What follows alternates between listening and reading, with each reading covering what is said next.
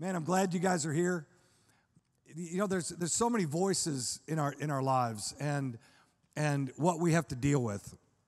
And you know, it's interesting. I was talking to somebody just recently, and they might be in the room, so I'm not going to make eye contact. I it slips my mind who I was talking to, but they were they were talking about the Old Testament and and they were referring to some things, and it was it was just really interesting, and how. Um, and it, it, the, the conversation went to kind of how when things were evil in the Old Testament, and they were, they were talking, and I said, you, you understand, beyond the serpent in the garden, there's no revelation of the, the devil in the Old Testament.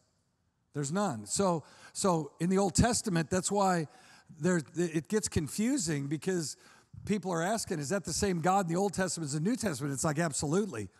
All right. But people that recorded the Old Testament, people had no revelation of the devil. So anything that happened, it was God. So if someone got sick or a plague came through or a storm hit or, or, or something, an enemy army or whatever, it was just God. And there's still a lot of church people that are like that. See, and we have to have revelation uh, that we have an enemy and there's a devil because the, the bottom line with our lives, and I'm telling you, I'm going to preach this um, and, and drive the point home. And I believe driving the point home preaching works. But it, the, what, what we're looking, the, the outlook of my life, of our lives, of this church for this year is revival, deliverance, and abundance. And this Sunday, I'm going to talk about abundance, okay? We talked about revival. We talked about deliverance. We're talking about Abundant Sunday. And then the next week it's gonna we're gonna we're just gonna reboot it. It's gonna be revival, deliverance, abundance. So it's six weeks of it to drive it home. And but the point is we got to remember there's voices in our lives. And there's there's there's there's things in our life that speak to us. And you've got to be careful about what speaks to you. Man, you let God's word speak to you. You understand God's word speaks so much so, it's so real to people that they'll say, Well, the Bible says, and people are thinking, Wait a second, the Bible's a book.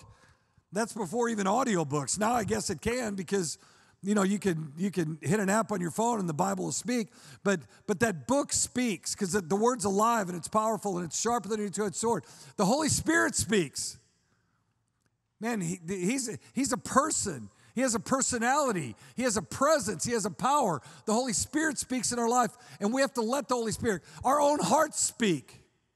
That's why you've got to fill your heart with good things. You've got to fill your heart with joy. You have to fill your heart with gladness. You have, have to fill your heart with forgiveness. Why? Because your heart's going to speak to you.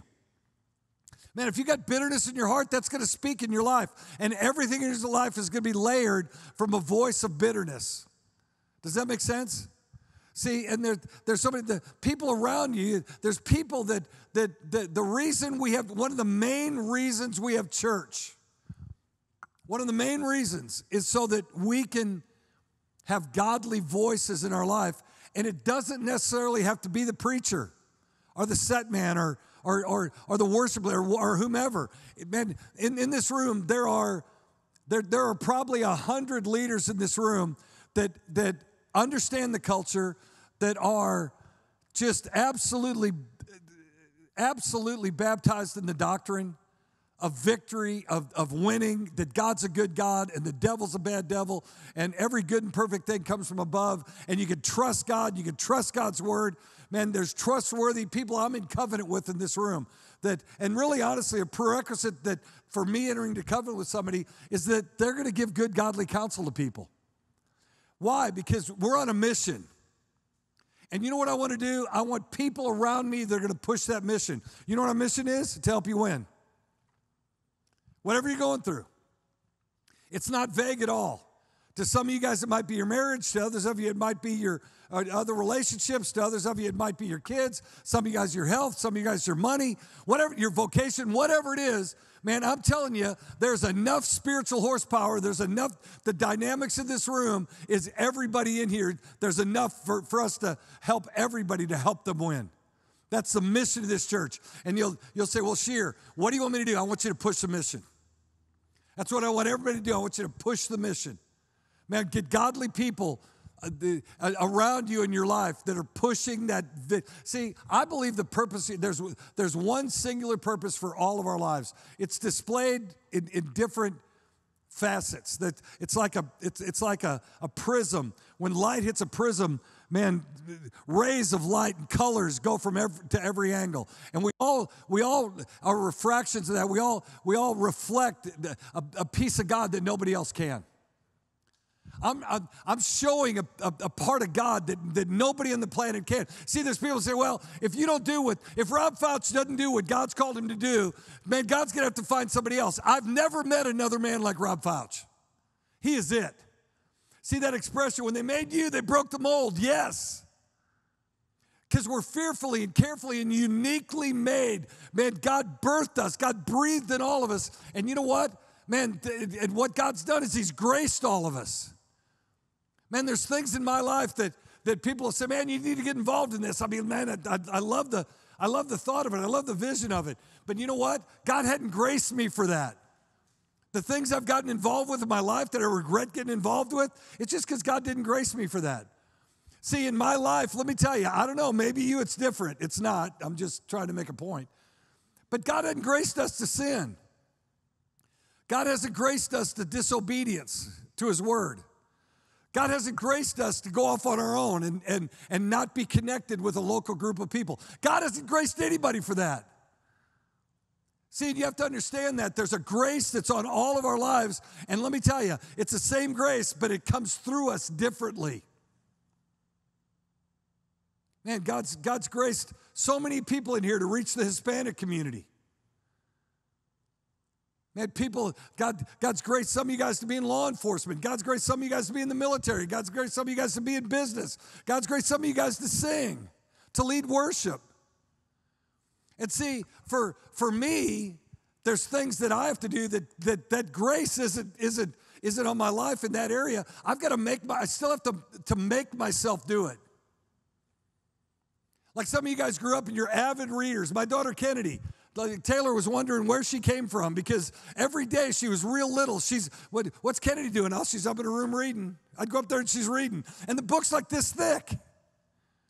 I'm like, you're eight. Who are you? My goodness. I mean, and the, the, the idea of this is when I was a kid, I read one book as a kid before I got into high school. It was the Richie Ashburn story. He was a second baseman for the Philadelphia Phillies back in the 60s. One book. And Kennedy read, read like three or four books a week. And God's graced her. So you know what? She's reading the word. I remember when I became a Christian, I gave my life to the Lord, that that it, it became it became difficult. I'm like, how am I going to do this? How am I going to keep up? I'm not a reader. But you know what? So when that's the case, you've got to force yourself. You got to make yourself.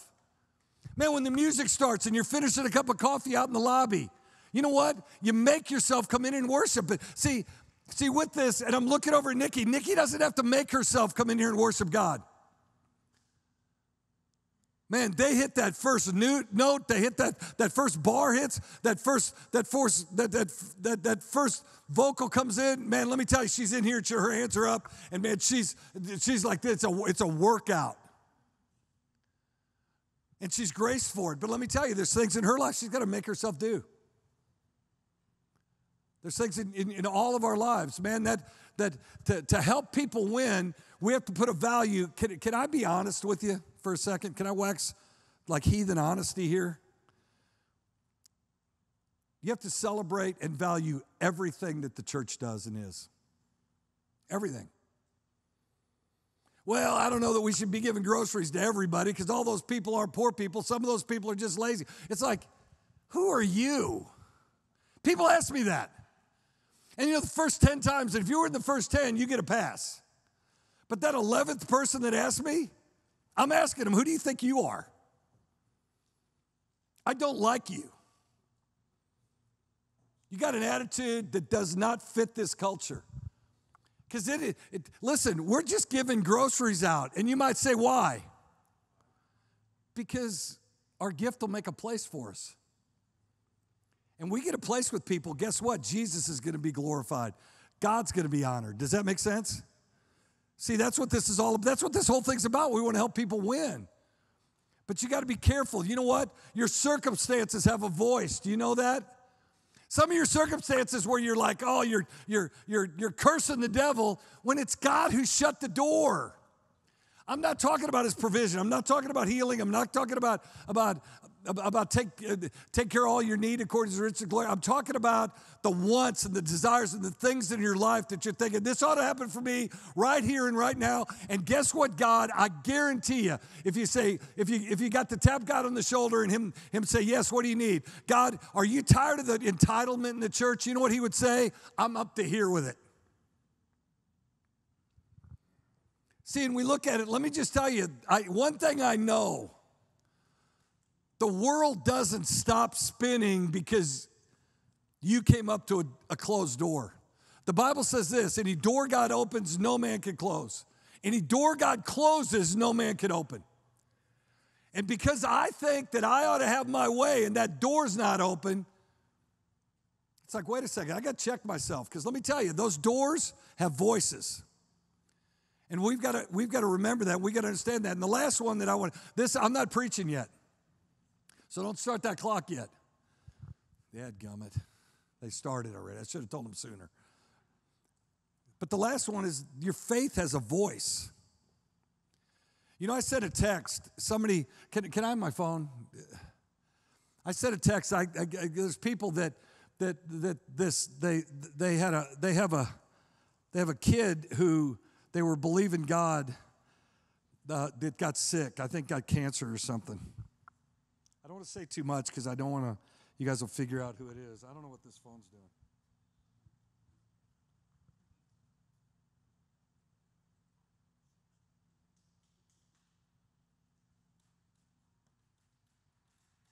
So it's like this, the, these symptoms came back, and it very well could be the worst case scenario.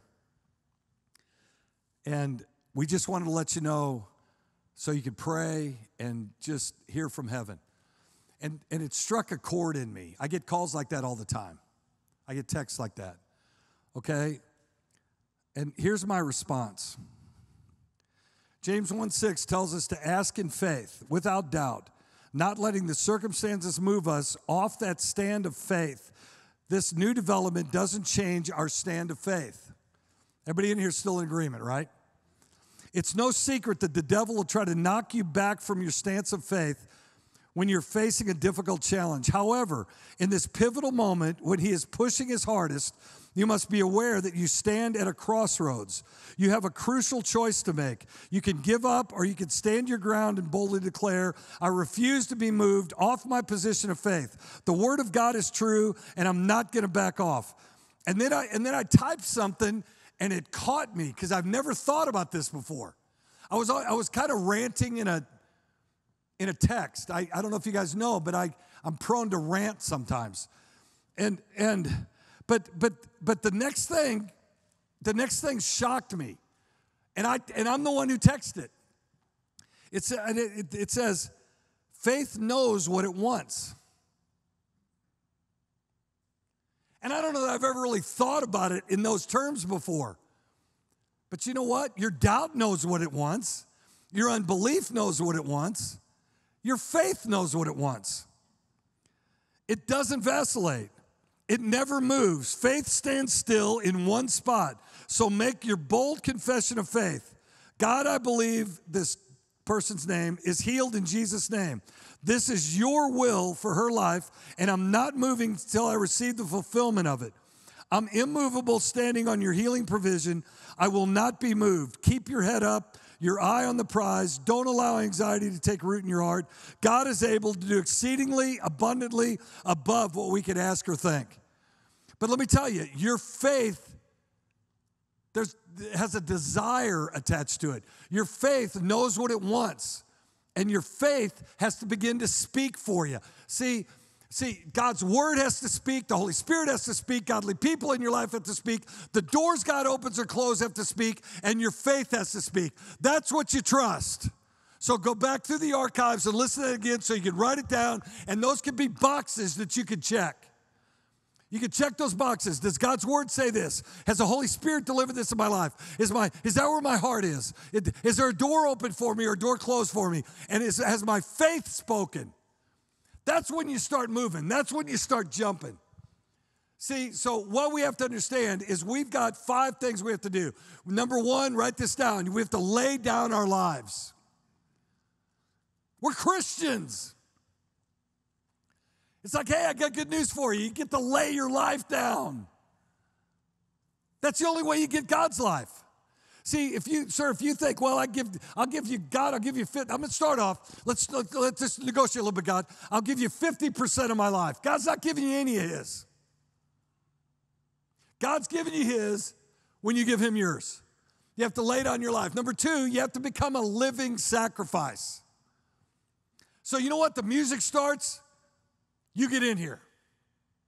Period. I don't care if it's rude, if somebody's somebody's pouring their heart out, they're in the middle of a sentence, you say, "Hey, I got to run, the music started, I got to make myself." So, hold that point, I'll talk to you after church. Number 2, your living sacrifice. Number 3, this is the big one. Trust God's word. You have to trust God's word. You have to put all your trust in God's word. You have to trust God's word more than I trust this, this stage. You have to trust that I can stand on it. You have to trust God's word more than, you, you than, than that chair you're sitting in. Were you concerned about that chair giving in when you sat down on it? No, you just, you just plop down. It's comfy, right? We're not making people sit on a nail here. Man, we're giving you a cushioned seat. It's all comfortable. But you know what? It's a chair you can trust. The Word of God, we can trust it. Number four, we have to allow, we have to allow God to renew our minds. This one's huge. Because you've, al- you've always thought a certain way. There's always been a certain angle. There's always been a certain direction. There's always been a certain layer. There's always been a certain scent. There's always been a certain cover. There's always been something on how you think. And you have to allow God, God to renew your minds. And number five, you've got to live connected to his body. And that's the one, I'm not sure that's very popular or trendy these days. I don't know anymore. I just know for me, it's a staple. I get off of my own, stick a fork in me. Because the Bible's clear, the, a fool's right in his own eyes. So often I think I'm right. It's like, hey, how about this? Well, let's rethink that. See, we have to understand this. And see, so so getting in this, I want to lay some groundwork for Sunday. Can I do that? That's what I'm doing on Wednesday nights now. I'm going to lay a groundwork for Sunday. So on Sunday, I'm going to talk about abundance. Is there anybody in here that has a problem with abundance?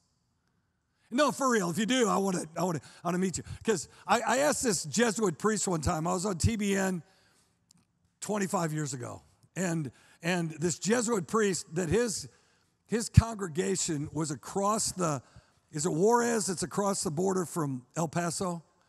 Okay, it, well, he, his church was in Juarez.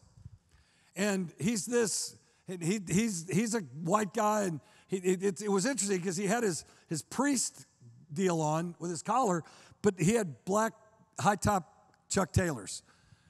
And so he was on after I was on. And everybody's in the back talking and stuff. And I'm mesmerized with this guy. Because those Jesuit priests are smart guys. So we go to dinner afterwards. And we go to, the, we're in Dallas. We go to this high level steak place. And he's eating. And he said, You understand? He said, I could, I could, the budget of my church could be met with the six meals that are getting served right here at this dinner. And I, you know, it's, we, we just started the church and, and, uh, I still had long hair at the time, and, and so I was kind of a novelty, and he's a novelty, and we're sitting together at dinner. And, and I was talking to him, and he said, and he was asking me about guts and how, he'd love to visit, and how it sounded intriguing to him, and the, the whole thing. He said, I never heard anybody that could call church God. I said, he said, Is there anything you want to ask me? And it's funny because there was something. I said, Tell me about those vows. You know, because priests take vows. Do you guys know? Any Catholics in here? Used to be Catholics? Shoot. Well, there's vows. Priests take vows. I, I, assume nuns do too. Would you assume that? What's good for the goose is good for the gander, okay? So, so, so they take vows, and it's a vow of poverty, it's a vow of chastity, it's a vow of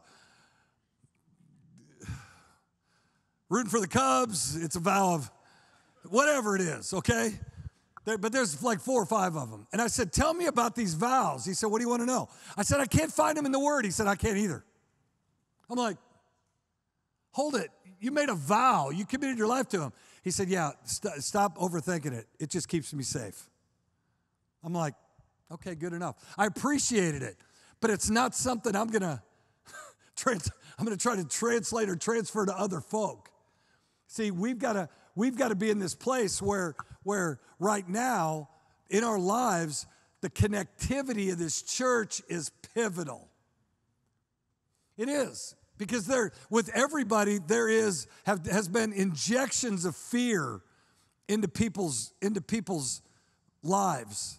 And some of you guys have you, you got the antibodies for it. it, it it's not affecting others of you. It's like ah, but how much of it's real? And I mean, I want to use common sense and and, it's, and other, other things come into play. But listen, I get it with regarding the pandemic. I do, I get it. But I but then if that seeps into others of your life and how you think, because that's what happens. It gets in your circulation, and then next thing you know, it's in your blood and it's in your DNA, and it and it, it exposes you to things, and and you become intolerant of some things, intolerant of other things, and we have to be careful about fear. We can't play with it. Okay? You don't have to, you don't have to like the virus, you just can't fear it. I'm just telling you. Okay, turn your Bibles to 1 Peter 5 8. 1 Peter 5 8. Peter writes, and this this this letter, let me explain something to you. And, and you wouldn't necessarily think this about Peter, but it's a pastoral letter. He's pastoring people writing this letter. Okay? And it starts off with verse 8. He said, Be sober.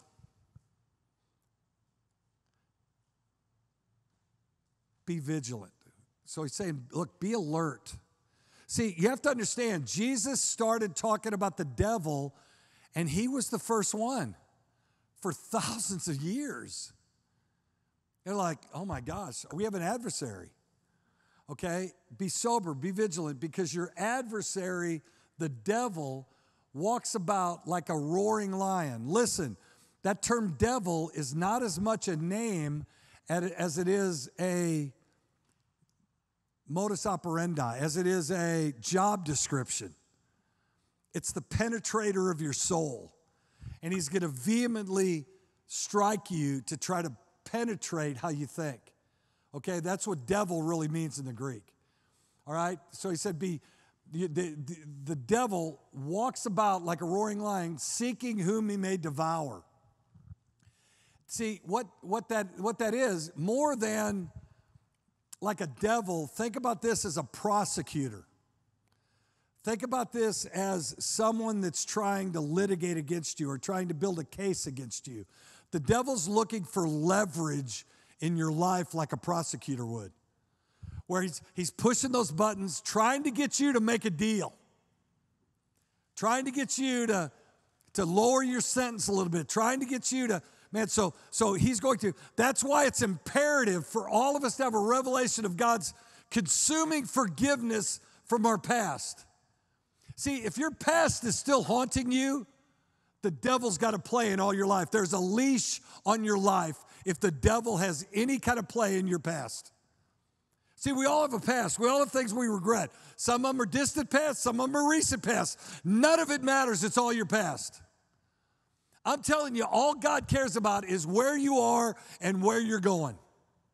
See, the, whole, the Bible says the Holy Spirit's going to remind you of everything Jesus said, which is the hope of the gospel. And, and, and show you things you didn't know and lead, listen, listen, listen, and lead and guide you in all truth. See, lead and guide means like if, if you put a if you put a lead on a on a horse or you put a lead on a cow, where you just take that cow and you're walking that cow. See, that's what the Holy Spirit does in our life. But what we have to do is we have to submit ourselves like that cow or that horse would have to. Because you know what? That cow or that horse is much more powerful than anybody in here. So you take that lead and you're just walking that horse along or you're walking that cow along. They outweigh you, they're stronger than you, but let me tell you, they'll, they'll submit to you. And that's what we have to do with the Holy Spirit. See, in verse 9, then it says, resist him. So we've got to resist the devil. So you, so you ask yourself, how? He's the devil, he's the Antichrist. Here's how we resist him we're steadfast and movable in faith. It's like that text I just read. It's like, look, I am, I've taken a stand of faith. I'm not budging, I'm not moving. I'm not, I'm not negotiating. I'm not compromising. I'm not caving. I'm not going to flinch. I'm not going to cower. I'm not moving a bit. I'm telling you, it doesn't matter what they say about the disease. It doesn't matter what that diagnosis is. I'm telling you right now, I am not budging. That baby, that that that kid is gonna is, uh, is healed and will fulfill God's purpose on this earth. Anybody with me on that?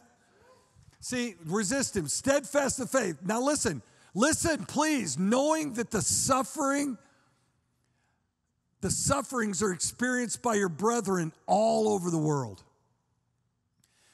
Those sufferings are not, now listen, they are not infirmities. It's not like the virus, it's not like the flu, it's not like cancer. It's not, it's not, it's, it, it, it, it's not, um, it, it's not debt. It's not, it's not divorce. It's not what the sufferings are, are the sufferings of Christ. It's persecution. See, what we don't talk about much is the church, Christians are built for persecution. We're built for adversity. We're built for, we're built for the battle.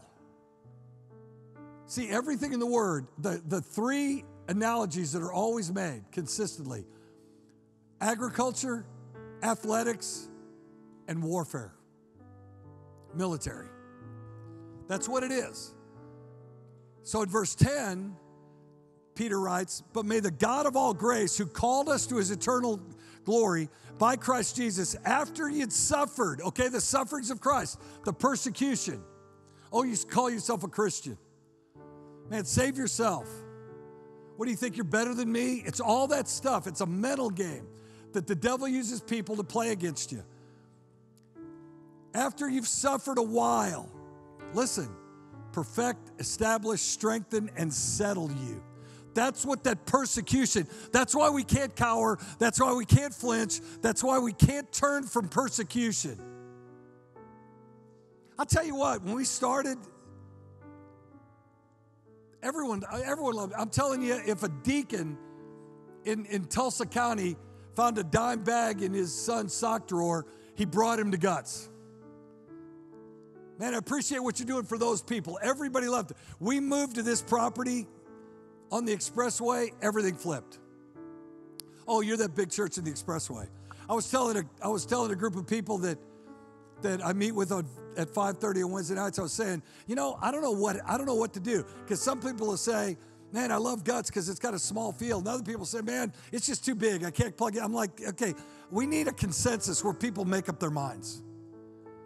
But see, understand this that what God wants to do, and, and then he finishes it by he says, To God be the glory and the dominion forever and ever, amen. So, so those four terms, think about this the persecution of your life. See, because what the devil's going to try to get you to do is cower. Be worried about people finding out you're a Christian or, or finding, well, what do you think you're perfect? No, but you giving me this rash of stuff is going to perfect me.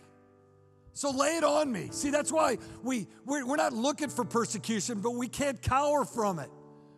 I mean, this word has got to be razor sharp because the Bible says it's a two edged sword. You don't want to go into battle with a, a dull sword.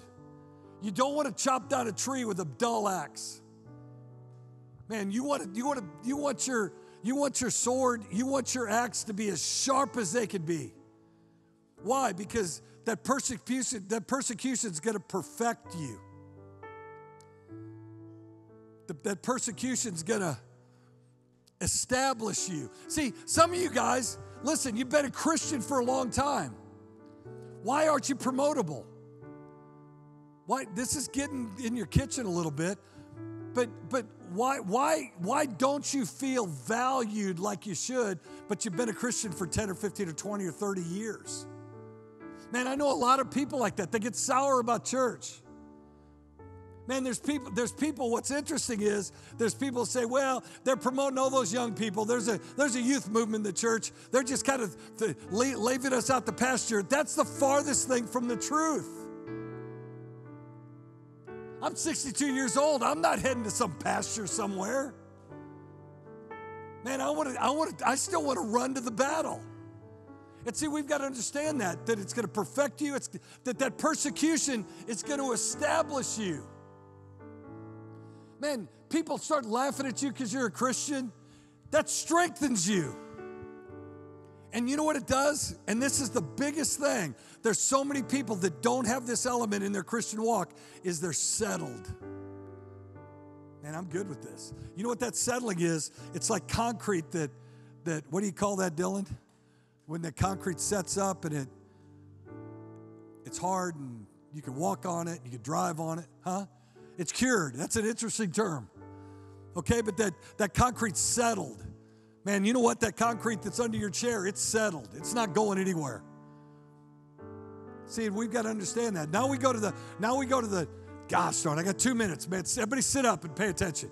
John 10 10. Okay? The, this is the will of the devil. The Bible says the thief doesn't come except to, to steal and to kill and to destroy or to, or to, to, to destroy.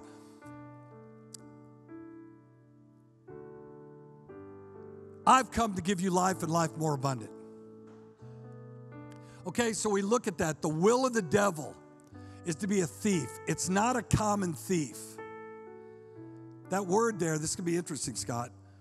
That word thief is, act, is actually a kleptomaniac. Anybody know what a kleptomaniac is? It's somebody that steals and can't help themselves. See, we take it so personally when we feel like the devil's attacked us. And you know what? He can't help himself. He's not attacking you. He's not stealing from you because you got something he wants. He's stealing from you because he's a kleptomaniac. Man, the, the word in the Greek is actually klepto something, where we get the word kleptomaniac.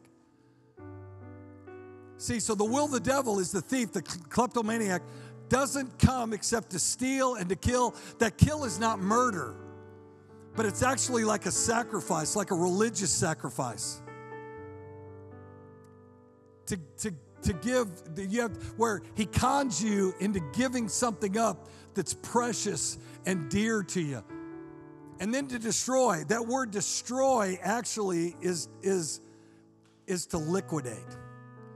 So the thief doesn't come except, listen, except to steal and to get you to give away the precious things in your life and to liquidate all your assets. See, now it makes sense, right? Because why would a thief come to kill? See, so it's almost mistranslated, or it's it's it, it, it, we have to go into some depth. That's why it's important to study the word.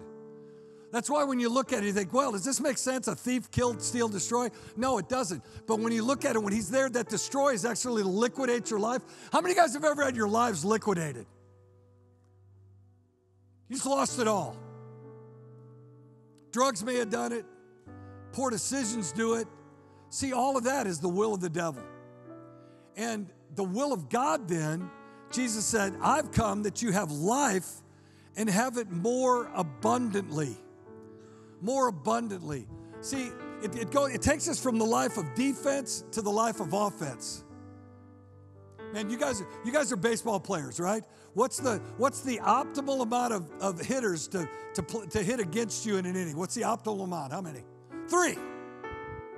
Three. If it's four, if it's five, if it's six, if it's eight, if they hit around the order, that's a bad inning, right?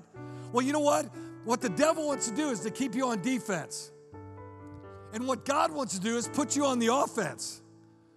Man, you make you make a diving catch or something on the third out, everybody on the field sprinting into the dugout, and everybody's celebrating, and everybody's congratulating. And now the momentum's turned, and now the next guy that comes up there, he's like, "Let me tell you something. I'm going to own you. I don't care what you're throwing. I'm going to hit it back up through your teeth." See, that's the attitude we have to take. A life of defense versus a life of offense. You know why? Because God's given us, He sent Jesus, listen to this, Hunter, life more abundantly. That, that abundantly actually, actually means excessively. See, see, too many, too many people are raised in church, and some of you guys are there. You were raised in church where it's like, well, you don't have too much. God won't give you too much. It's like bull, baloney.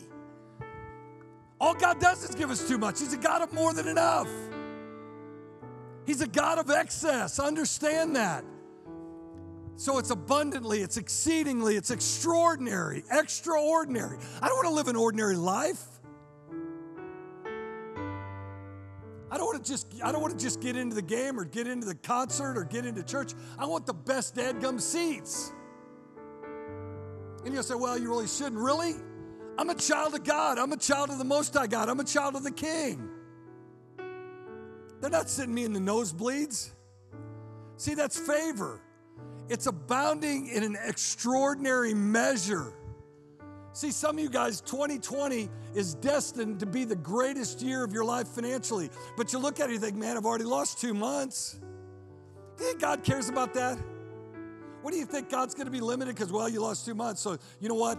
It's, you only got 10 months of work, so your income. No. It's, it, it's exceedingly abundantly more than we could ask or think. It, you know what that the more abundantly really means? It's like a river that overflows its banks and it floods beyond its banks. It's overflowing, it's plentiful, it's super abundance. See, that's what I'm preaching Sunday. I'm not preaching a, a get by life of abundance. I'm preaching and embarrassing, I'm embarrassed how blessed I am. I want people pulling up to your house going, Dear God, you live here? Who died? No, for real, that's a good question. Jesus did. That's how I live here.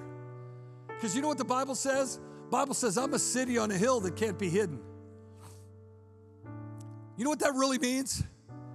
That really means God wants to show us off. He wants to show out through our lives. Man, can you explain this? Yeah, I'm a tither. I am.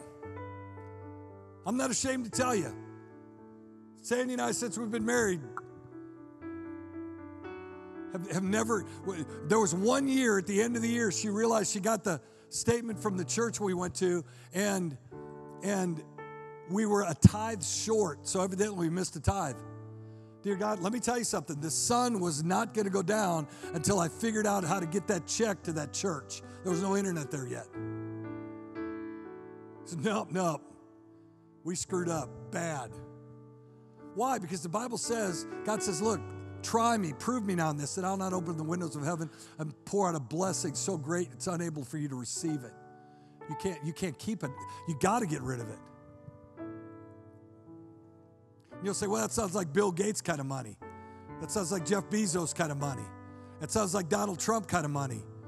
Yeah. Heck yeah. That's kind of money we're talking about. you'll say, well, it's all about the money. No, it's not. All that money is is provision. I'll tell you, all that money is in my life is seed. You're not going to have to ask somebody to help you put your kids through college. You're not going to have to ask a bank to give you a loan for that. What if the next house you bought, you paid cash? Let's start with the next vehicle you bought, you paid cash.